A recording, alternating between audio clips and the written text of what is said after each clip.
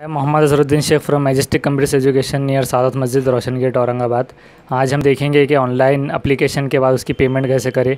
तो सबसे पहले हमें वो अप्लीकेशन का, जो भी हमारा गेटवे है, उसका आपको नाम लिखना है। जैसे कि एमपीएससी की वेबसाइट तो एमपीएससी की वेबसाइट पर आने के बाद हम यहाँ से उसकी लिंक के थ्रू उसकी मेन वेबसाइट पर जाएँगे। मेन वेबसाइट पर आने के बाद ये कंटेंट कभी कभी ब्लॉक कर देता है तो इसे यहाँ से अनब्लॉक भी करना पड़ सकता है आपको। फिर उसके बाद हमें यहाँ से ऑनलाइन पेमेंट पे जाना है। ऑनलाइन पेमेंट पे आने के बाद अगर आपका न्यू रजिस्ट्रेशन है तो आप यहाँ से न्यू रजिस्ट्रेशन पे क्लिक कर सकते हैं या फिर यहाँ से लॉगिन भी कर सकते हैं। तो हम यहाँ से अभी लॉगिन करेंगे क्योंकि हमने आईडी बना रखी है। इन अगले वीडियो में हम पूरा फॉर्म भरना भी देखेंगे। फ़िलहाल के लिए हम आज पेमेंट करना सीखेंगे। तो ये हमने यहाँ से लॉगिन कर दिया है। फिर आपको यहाँ से प्रोफ़ाइल क्रिएशन करना होता है। ऑनलाइन अप्लीकेशन अगर आपका न्यू अप्लीकेशन आप अप्लाई करना चाहते हैं तो यहाँ से अप्लाई कर सकते हैं। तो ये इंशाल्लाह हम फिर कभी देखेंगे कोई अप्लीकेशन फॉर्म अकाउंट से सेक्शन में। माई अकाउंट के सेक्शन में आने के बाद हम यहाँ से कॉम्पिटिटिव एग्ज़ाम पर क्लिक किया। तो यहाँ पर वो डिटेल आ गई 2019 में जो एग्ज़ाम होने वाला है अभी। तो उसकी हमें सेलेक्ट कर लेना है। और उसके बाद हम यहाँ से टिक करेंगे वो अप्लीकेशन नंबर पर या फिर अप्लीकेशन आईडी पर जिससे हम अप्लाई करना चाहते हैं। उसके बाद ये अनपेड है तो यहाँ से पे नाव करना है। पे नाउ करने के बाद वो ऑनलाइन पेमेंट का ऑप्शन यहाँ पूछेगा या फिर आप कौन सा करना चाह रहे हैं? महासेवा केंद्र से या फिर चालन से करना है? तो हम ऑनलाइन पेमेंट का सिलेक्शन करेंगे। ऑनलाइन पेमेंट के सिलेक्शन करने के बाद वो रिडायरेक्ट होगा पेटी पेमेंट के गेटवे पर।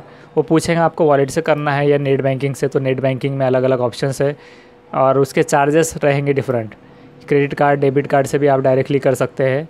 आईएमपीएस यानी इमीडिएट फंड ट्रांसफ़र और यूपीआई एड्रेस जैसे कि फ़ोनपे की लिंक होती है at the rate Y B L वगैरह इस तरह। तो हम वॉलेट में अभी फ़िलहाल पेमेंट का गेटवे पेटीएम करेंगे। अगर आपको वीडियो समझ में नहीं आया तो आप दो तीन बार कर सकते हैं। यहाँ पर अमाउंट बताएगा वो शो करेगा। तीन सौ चौहत्तर टोटल लगने वाले हैं। तो हम यहाँ पर से प्रोसेस फॉर पेमेंट करेंगे। पेमेंट पर जाने के बाद वो वॉलेट में आ जाएगा पेटीएम के। वहाँ से हम भीम यूपीआई भी ले सकते हैं, यानी कि अगर यूपीआई का एड्रेस क्रिएट कर सकते हैं हम फ़ोनपे का गूगल पे का तो at the rate Y B L PhonePe का रहेगा। और अलग अलग हो सकते हैं at the rate Paytm mobile number या यूज़र नेम ये मिसाल दी हुई है यहाँ पर। तो हमें यहाँ से क्रेडिट कार्ड भी हम सेलेक्ट कर सकते हैं नेट बैंकिंग भी कर सकते हैं और डेबिट कार्ड भी। तो हम डेबिट कार्ड के थ्रू देखेंगे। तो आपको सबसे पहले क्या करना है कि डेबिट कार्ड का नंबर यहाँ पर इंसर्ट कर देना है चूँकि ये कॉन्फिडेंशियल होता है तो इसे हम थोड़ा स्टॉप करके लिख लेंगे। वैसे हम यूज़र को सिखाने के हिसाब से हम थोड़ा रिस्क ले रहे हैं, लेकिन आपसे ये गुजारिश है कि किसी को भी अपना एटीएम कार्ड का नंबर वगैरह ना दे। हालाँकि अगर इससे बहुत सारे मिसयूज़ हो सकते हैं हैक हो सकता है ये। इसकी वैलिडिटी हमें डालना है। और अगर बैंक का कर्मचारी क्यों ना आपसे पूछे कि आपका पेड इसका नंबर दीजिए तो आप उसे ना दे। यहाँ से आपको सी वी वी जो नंबर होता है वो डेबिट कार्ड के बैक साइड में लिख कर आता है, जो हम उसे डाल लेंगे। तीन डिजिट यहाँ पर एग्ज़ाम्पल भी दी गई है यहाँ पर से। तो इसे यहाँ पर से पे नाव करना है।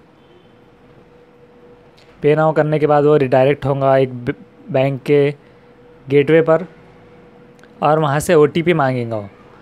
यानी एक कंफर्मेशन के लिए ओ टी पी आएगा और आप जैसे दे सकते हैं कार्ड का नंबर यहाँ खुद शो नहीं किया हुआ है। अधूरा बताया गया है तो आप सोच सकते हैं कि कितना रिस्क हो सकता है एटीएम का कार्ड का नंबर आप देना, या डेबिट कार्ड। बहुत सारे लोग एटीएम कार्ड समझ में नहीं आता है उन्हें। डेबिट कार्ड तो एटीएम कार्ड भी कहकर उन्हें बताया जा सकता है। तो यहाँ से अभी हम नंबर इंटर करेंगे।